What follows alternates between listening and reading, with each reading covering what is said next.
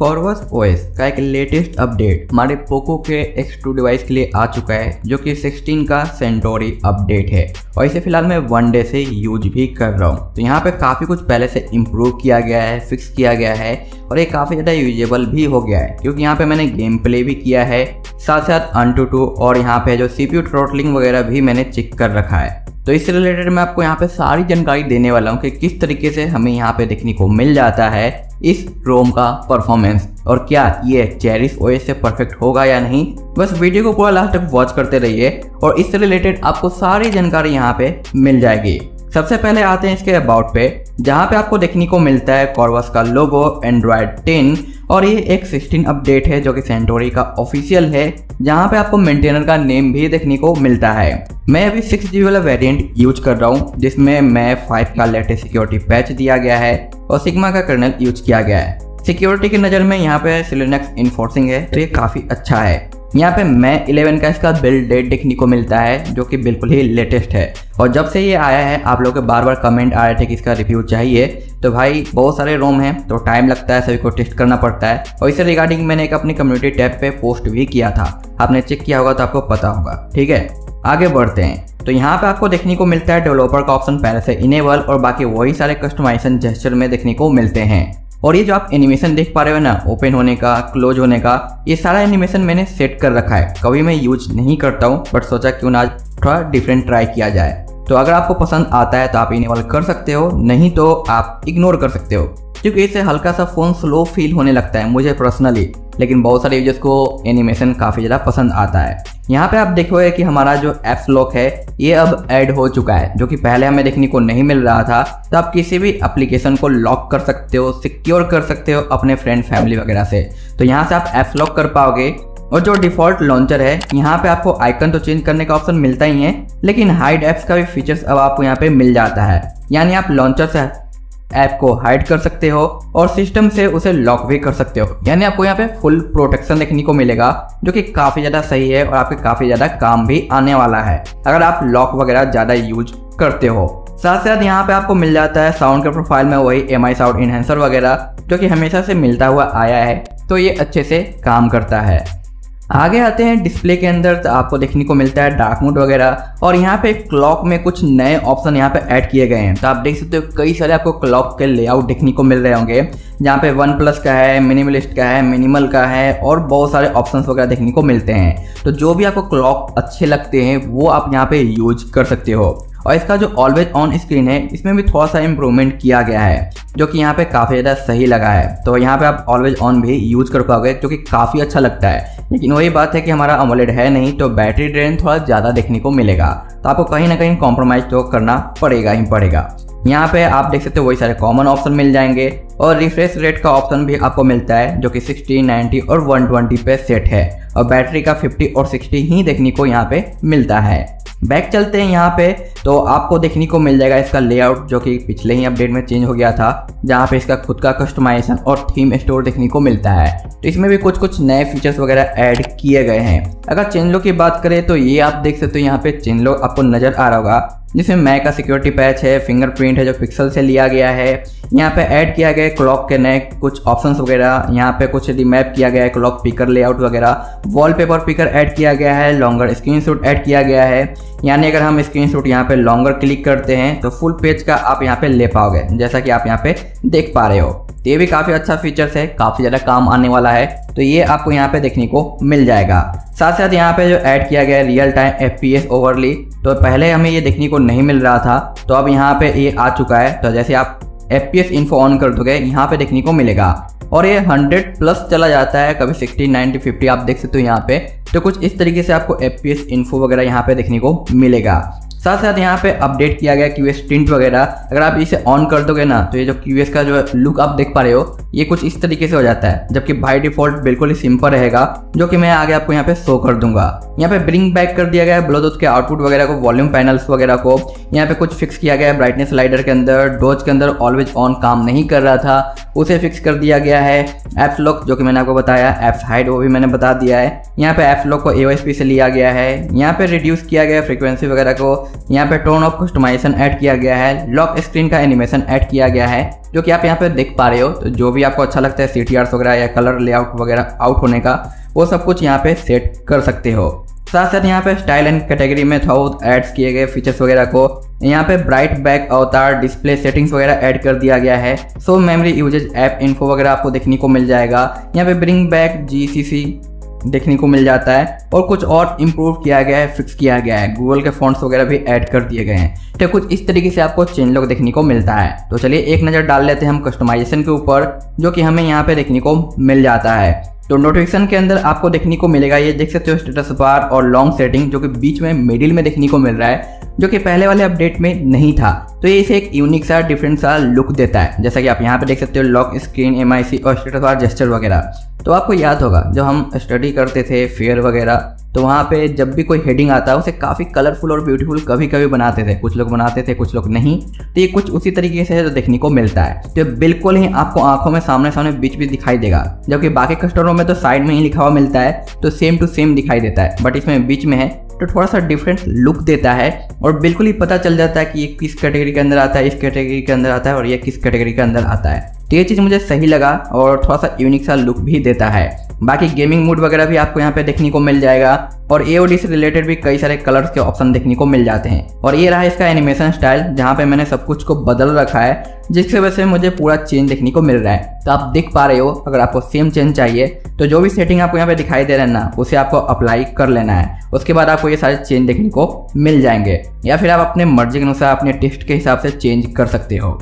आगे आते हैं तो लॉक स्क्रीन पे आपको ज़्यादा नहीं मिलता है। वही फिंगरप्रिंट नोटिफिकेशन वगैरह charging background media art music visualizer charging info वगैरह देखने को मिल जाएगा। यहाँ पे आपको ट्रांस सॉरी नेटवर्क का ट्रैफ़िक मीटर देखने को मिलता है। क्लॉक के कुछ ऑप्शंस वगैरह यहाँ पे है, जो कि पहले से इंप्रूव किया गया है। कुछ फॉन्ट्स वगैरह ऐड किए गए हैं, जो कि मैंने अभी आपको चेंज लॉग में शो किया था। बैक चलते हैं तो आपको बैटरी ऑप्टिमाइजेशन का ऑप्शन मिलता है, जहाँ पे बैटरी एंड स्टाइल्स वगैरह में आप जो चाहो कस्टम कर सकते हो। आइकन मैनेजर में पहले से आपको वोल्टी के आइकन मिलते हैं, लेकिन कुछ ऑफ़ रहते हैं जिसे आपको ऑन वगैरह है जो करना पड़ेगा। आते हैं पावर मेनू में तो वही सारे कॉमन ऑप्शन आपको देखने को मिल जाएगा। नेबार के अंदर है जो इस तरीके से आपको लेआउट्स वगैरह देखने को मिलते हैं, जो कि आप ऑन एंड ऑफ़ कर सकते हो।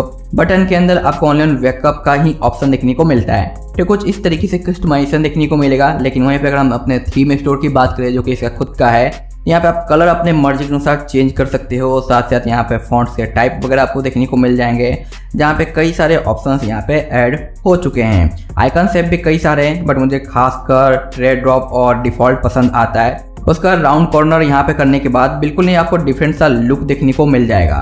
तो मैं आपको पहले यहाँ पे दिखा देता हूँ किस तरीके से हमें देखने को मिलता है। तो आ जाते हैं अपने सेटिंग्स के ऊपर, किधर गया हमारा सेटिंग्स वगैरह भाग जाता है जब भी कुछ ओपन करते हैं। तो यहाँ पे आप देखोगे कि रिसेंट में सब कुछ आपको राउंड राउंड देखने को मिल रहा है। और ऊपर से अगर मैं ड्रॉ करता हूँ तो ये भी है जो हमारा कंट्रोल सेंटर वगैरह सब कुछ राउंड राउंड देखने को मिल रहा है। तो इसे आप यहाँ पे कस्टम कर सकते हो, अपने मर्ज़ी के साथ जैसा आपको अच्छा लगता है।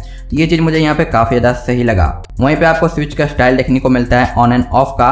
और जब भी आप कोई भी सेटिंग अप्लाई करोगे ना तो भाई कोई थर्ड पार्टी एप्लीकेशन वगैरह ओपन हो जाता है। ये सिर्फ़ इस फ़ोन का प्रॉब्लम नहीं है, ये मैक्सिमम डिवाइसेज के अंदर देखने को मिलता है, जब भी हम कुछ ऐसा चेंज करते हैं तो। तो सेम यहाँ पे भी है। तो इसकी गलती मत समझ लेना ओके इसके बाद आपको यहाँ पे देखने को मिल जाएगा थीम्स के ऑप्शन जिसमें कई सारे ऑप्शन दिए गए हैं। तो जो भी आपको चाहिए, वो आप यहाँ पे यूज़ कर सकते हो। और अब आप यहाँ पे देख पाओगे कि बिल्कुल ही ट्रांसपेरेंट हो गया है, जब भी मैंने यहाँ पे कॉर्बस का अप्लाई किया है तो। तो अगर आपको ये पसंद है तो आप ये यूज़ कर लो, ये भी काफ़ी अच्छा लगता है ट्रांसपेरेंट टाइप का। इसके बाद यहाँ पे स्टेटस बार के हाइट्स वगैरह देखने को मिल जाएँगे, जिसे आप एक्स्ट्रा लार्ज कर सकते हो।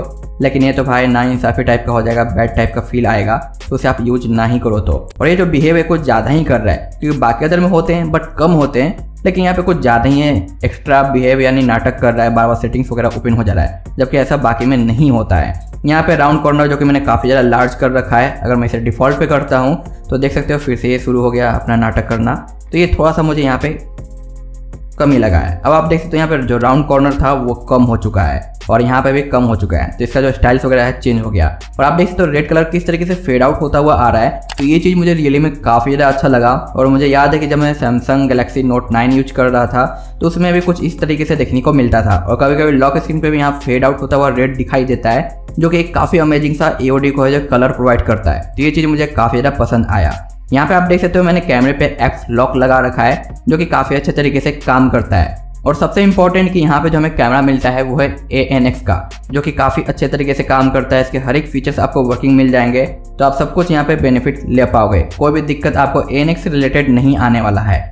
बाई डिफ़ॉल्ट हमारा जो प्ले स्टोर है, ये सर्टिफाइड देखने को नहीं मिलता है। तो पहले आपको इसे फिक्स करना पड़ेगा, तभी जाके आप बैंकिंग के ऐप यूज़ कर पाओगे। और एक और यहाँ पे कमी देखने को मिलता है, अगर आपको चाहिए L one Amazon Prime Netflix वगैरह यूज़ करते हो तो तो सबसे पहले आपको मी वाई टेन फ्लैश करना होगा अपने फ़ोन के अंदर एंड्रॉयड वर्जन का not Mi Y ten okay Android ten का मी वाई फ्लैश करना पड़ेगा। तब जाके आप इस रोम को फ्लैश करोगे तो आपको एल वन देखने को मिलेगा।